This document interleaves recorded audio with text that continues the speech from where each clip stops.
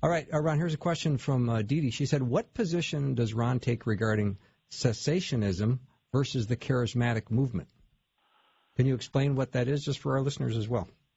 Well, yes, there are uh, some people who believe that the uh, sign gifts, and in particular, I'm talking about uh, uh, speaking in tongues and the gift of healing and you know some of those kind of things as uh, being only for the first century and have since passed away. Those are no longer evident. And the idea is is that during the New Testament era, that was a time of revelation from God, and so special sign gifts became necessary. And then once the revelation was complete, that is to say, once the New Testament was complete, then those gifts were no longer necessary.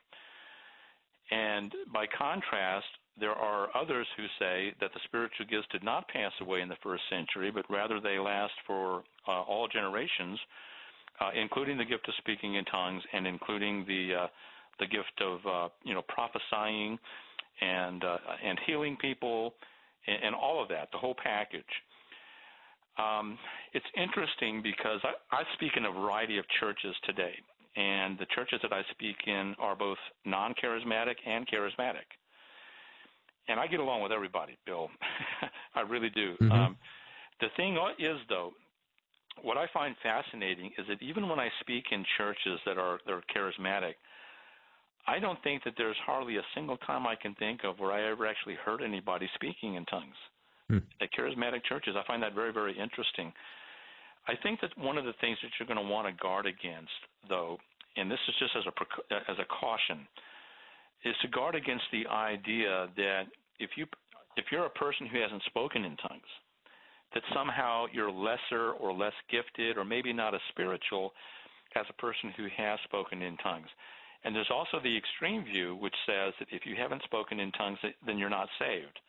Because the key evidence of having the Holy Spirit is speaking in tongues. That's what some people believe. And so my position on that would be that that's just not correct. In fact, the Apostle Paul himself said in 1 Corinthians, he said to the Corinthians, I wish that you could all speak in an unknown tongue like I do, but you do not. And yet, Paul said that that same bunch of Corinthians were saved and have been baptized in the Spirit. so what that means is is that being baptized into the Spirit and being baptized into the body of Christ does not necessitate speaking in tongues. And so to me, that's the greater issue than simply the issue as to whether or not you believe the gifts are existent for today. The, the greater issue is the damage that it can do to a, a human being, another Christian, who is told that they're not spiritual or maybe not even saved if they have not spoken in tongues. You see, that's a that's an extreme position, and it has no basis in Scripture. Mm.